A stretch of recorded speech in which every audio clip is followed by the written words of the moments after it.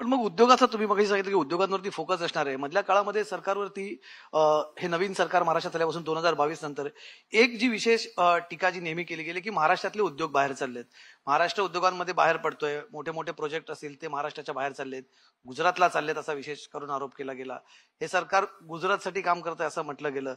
हा आरोप तुम्ही वेळोवेळी खोडून जरी काढला असला तरी काही गोष्टी आहेत ज्या फॅक्ट्स आहेत की काही उद्योग तिकडे गेलेले आहेत. याला नक्की कारण काय? नाही.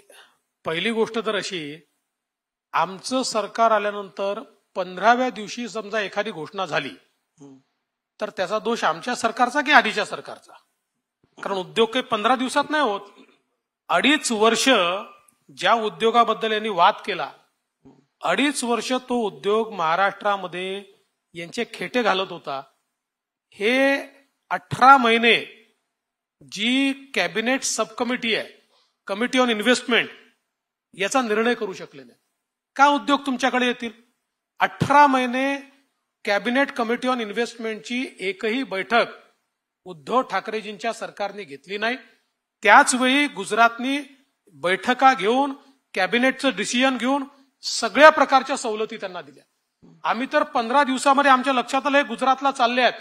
तर आम्ही तात्काळ बैठक बोलवली सगळ्या सवलती गेल्या पण त्यावेळेस त्यांनी आम्हाला सांगितलं की आता उशीर झाला आणि आम्ही हे नाही. तुम्ही ज्या उद्योजकांच्या बद्दल सांगितलं त्यांचं ट्विट बघा. त्यांनीच जर सांगितलं की आम्ही हा मनोदय आधीच घोषित केलाय की आम्ही गुजरातला चाललो आहोत. म्हणजे जेव्हा उद्धव ठाकरेंचं सरकार होतं तेव्हाच त्यांनी घोषित केलं होतं. बघा सुरुवातीला सरकार गेल्यानंतर हा नरेटिव्ह तयार करण्याचा प्रयत्न झाला. आणि मग तो किती खोटा होता? तर उद्धव ठाकरेंच्या सरकारमध्ये जे सॅफरन हे ऑलरेडी आंध्र प्रदेशमध्ये गेलं हैदराबादमध्ये. त्याचं प्रोडक्शन सुरू झालं. आणि एका मीडियाने बातमी छापली की नवीन सरकार आलं आणि सॅफ्रन गेलं आणि सगळ्यांनी त्याची इकोसिस्टीम वाजवली. सॅफ्रन गेलं. शेवटी त्यांचा ट्विट आम्हाला काढून दाखवावा लागला की बाबा रे ते उद्धव ठाकरेंच्या सरकारमध्ये गेले त्यानंतर त्यांचं प्रोडक्शन सुरू झालं. आमच्या सरकारशी काही संबंध नाही आहे मी तुम्हाला पुन्हा सांगतो उद्योगामध्ये महाराष्ट्राला आम्ही नंबर वनवर आणू. पाच वर्ष मी मुख्यमंत्री होतो. त्यातल्या चार वर्षामध्ये देशामध्ये एफडीआयमध्ये महाराष्ट्र नंबर वनवर होता. गुजरात फार मागे होता. आणि तीन वर्ष तर अशी आहेत की आपल्या नंतरची चार राज्य यांची एकत्रित इन्व्हेस्टमेंट त्यापेक्षा महाराष्ट्राची इन्व्हेस्टमेंट जास्त होती. हे मध्यंतरीचं सरकार आलं आणि आपण एफडीआयमध्ये चौथ्या क्रमांकावर गेलो. मी तुम्हाला आज दाव्यानं सांगतो या वर्षीच्या शेवटी आपण पहिल्या किंवा दुसऱ्या क्रमांकावर असू आणि पुढच्या वर्षी पहिल्याच क्रमांकावर असू. आपल्याला कोणी थांबवू शकत नाही.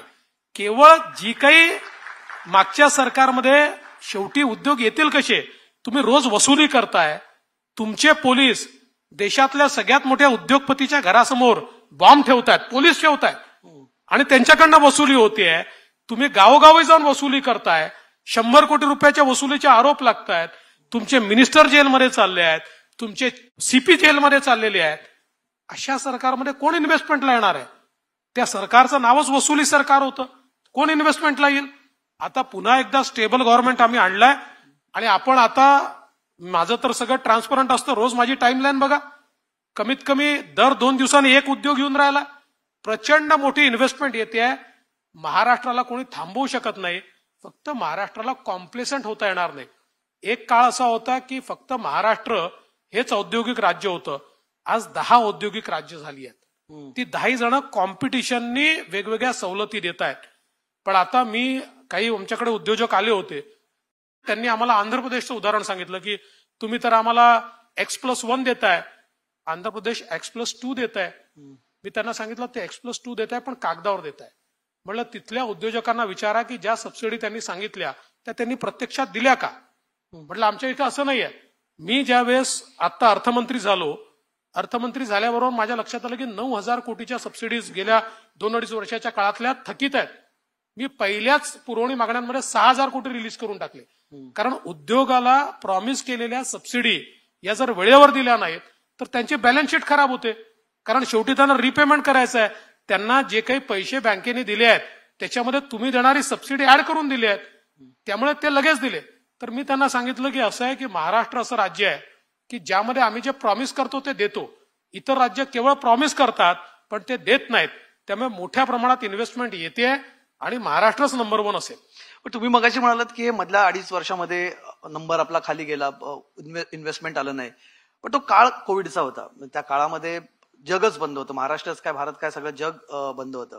अशा वेळेस इन्व्हेस्टमेंट बंदावणं अपेक्षित होतं. हा मी तुम्हाला थांबवतो. मला माफ करा.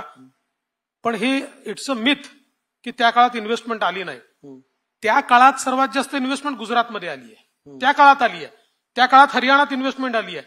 त्या काळात युपीत आली आहे. त्या काळात तेलंगणाला इन्व्हेस्टमेंट आली आहे. आक्षेपाचा की गुजरातला सगळं इन्व्हेस्टमेंट जाते तेव्हा आमचं सरकार नव्हतं. त्यांना विचारा का गेली? आमच्या सरकारमध्ये इथे येते. आणि मी तर डंके की चोट पर सांगितलं होतं की गुजरातच्या पुढे जाईल. जाऊन दाखवलं.